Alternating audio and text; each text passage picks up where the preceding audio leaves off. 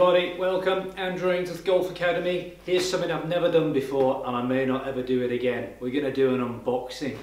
I have from here just arrived some of the latest Ping golf equipment. But I wonder what it is. You'll have to stay tuned to find out.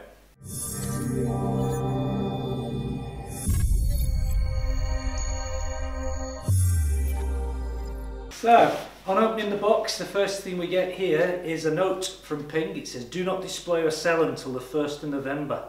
Please remember that no beep beep product may be displayed on the retail floor unless prior to consumer availability date. Um, so there we go. So whatever's in here, I can't sell till tomorrow. Uh, but I can let you have a little look at it. So, let's get this box open, shall we? Whoa, love opening boxes, like Christmas. Whatever it is, there's a few of them. Let's have a little peek so if we get the right end. Let's go with this box first and see what's in here. Any ideas? New woods? Ooh, definitely not new woods. They aren't due out for a little while, I believe. Um, new irons? No, we've had new irons. It's putters. I knew you guessed it. There's loads of videos out there already on these putters. Um, some guys uh, get access to products a little bit e earlier than I do. I'm in conversation with Ping at the moment and I'm hoping that in future I'll get the product a little bit earlier so I can post reviews um, before it hits the market. So what we've got here are the new Ping Sigma 2 putters and I've got a whole bunch of them. I think I've got eight different models in here. I'm um, not going to do reviews on all of them but whichever this one is we're going to have a look at this one first. So what have I got here? I have got here, the first one out the box is the Sigma 2 Tyne Putter. So I've actually seen this one, the rep brought them round uh, a couple of weeks ago and I've seen this one in action. It's a great looking putter and the, the story, I'll do some more in-depth reviews on, on the inserts and how the Sigma 2 differs, but the main thing that works here is the adjustability. So very, very, very clever system that Ping have come up with and kind of beat everyone to the race. Um, we can we can adjust the putter of this down, the length down to 32 inches and take it all the way up to 36 inches. And the way we do that is with this little adjusting tool here, which basically goes into the top of the putter, like so. So we stick that in the top of the putter okay and you basically just twist it. So to add length I twist this way and you'll probably be able to see as I twist can you see? The putter's getting longer. So I can make that 35 inches I can make it 34 inches. I can go the other way and you'll see that the putter's getting shorter absolutely genius idea from Ping. Remember that they had an adjustable length putter before, but it was really fiddly. You used to have to put the key in and it twisted the opposite way to what you think it did. Um, so it snapped a lot of the times if you tighten it the wrong way. It was also really difficult to get the grip back on straight, whereas this is as simple as that. You just twist this key to make it shorter or longer. Absolute genius, love it. So that's the Tyne that's come out. This is going to be a really big seller. Shall we dip in and uh, grab a couple more? Okay, what we got here? cover off. Ah, this one's the Kushin C. Kushin C, this one, centre shafted putter. Interesting. Don't get many centre shafted putters around these days. Looks kind of nice, like that one. Go for another one. Got here? Another mallet. Um, so within this range, and we'll maybe flash up some pictures, I think there are five mallets in this, in this range. Oh, the Wolverine. The Wolverine H we've got here, um, which basically looks a little bit like the Craz-E with the, with the ball at the back, the man on the motorbike style.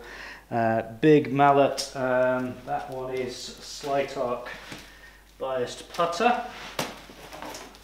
There's one in here I'm really looking forward to showing you. Hope I can find it. Look what this one is. This one is not the one I was after. This is a brand new one called the Valor. This is a really big mallet putter. Uh, I'd imagine this has a very high MOI, moment of inertia, resistance to twisting. About 355 grams I think in weight this one. Never had a go with this before. Looks beautiful, looks really well balanced. Let me find the one which I really want to show you. So I'm going to open this box in my own time and I'll dig out the one that I want you to see.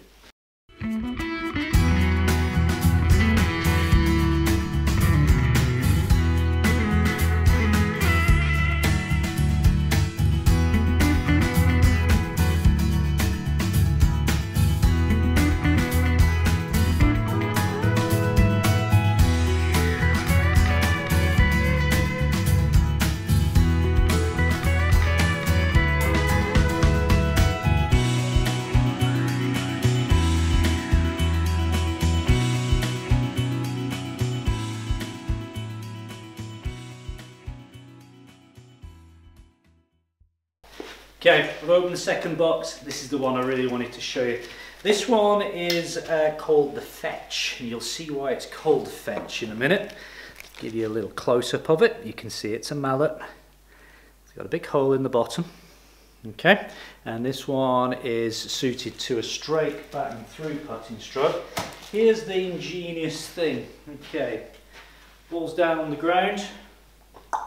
Pop the putter down on there gets the ball, picks the ball up, which is quite clever, isn't it? Uh, but the other thing, I'm not quite sure this is going to go down well with the greenkeepers out there watching. Ball's in the hole. This putter actually fits in the hole, okay? And you can, if the ball's sitting in the middle of the hole, which it normally does, put your putter into the hole and get it out. Now, I'm not that sure, as a, I used to be a greenkeeper years ago, I'm not quite sure how that's going to work with people sticking the putter into the hole, catching the edge. I don't think that's going to go down particularly well at a lot of golf courses. Um, we will see. But very ingenious idea to be able to just plonk the putter down on top there and pick it up. This one, again, loving the mallets putters here. We can adjust the length of these. Um, I'm going to do some full reviews on a couple of the putters, but the immediate thing which I notice of all these Sigmas is just how soft this insert is. I still think they're using this material called Pebax, which they used in some of the other putters, um, and it really does feel quite springy off the face. So we'll get busy unboxing these, we'll get them all on the display stand, get them priced up. Price-wise in the UK, and these are going to be working out at around about 199 pounds I think will be the price mark on these putters. Maybe a little bit cheaper 189 199 so they're pretty premium but with this ingenious adjustability in the shaft it means guys like me can get these fitted in you know so if you come in to buy a putter we can decide on what style you want and then we can really get the length of the putter dialed in to how you putt, you know, shorter, longer. Great to have that adjustability as a fitter. So there we go, a sneaky peeky at the new Ping Sigma 2 ranges. Stay tuned for a few in-depth reviews on a few various models, but great to see. I think Ping are really on top of their hardware at the moment and they're in a good place, Ping. They're my favourite company to work with. Um, so there we go. Thanks for watching. Don't forget to hit the subscribe button. Subscribe button. There we go. I can say it. Well done. Um, hit the like button. Hit the thumbs up button. Keep tuned. Stay tuned. All the best. Bye for now.